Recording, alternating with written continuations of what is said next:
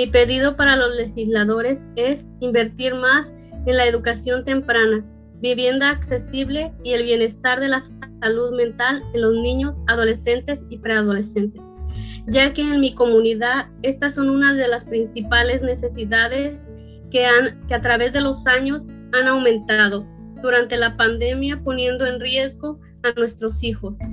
Por, por eso que hago un llamado a ustedes para que inviertan en la comunidad y todas nuestras familias sean bien beneficiadas.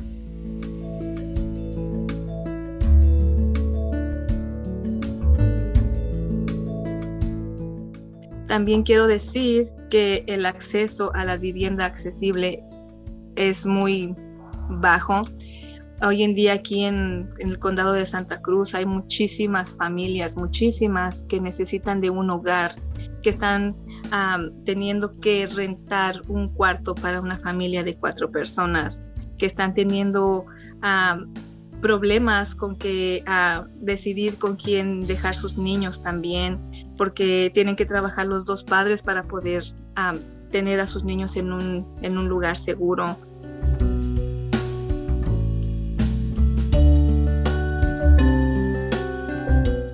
Quiero abogar por la salud mental, ya que por la pandemia del COVID-19 nos ha afectado mucho con estrés, por pérdidas de trabajo, por la salud, porque cambió nuestros hábitos de vida sin poder socializar y también mucha depresión, por la muerte de seres queridos, familiares, amigos o conocidos.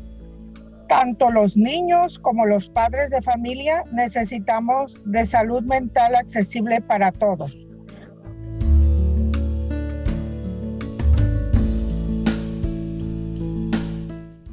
Como educadora de la primera infancia, mi visión y abogacía están alineadas para impulsar grandes cambios, empezando por reconocer a las maestras, maestros y proveedoras en casa como esenciales.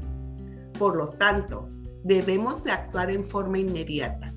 Exhorto a nuestros representantes electos que inviertan en educación temprana de calidad y como prioridad en salarios dignos para los maestros y proveedoras en casa.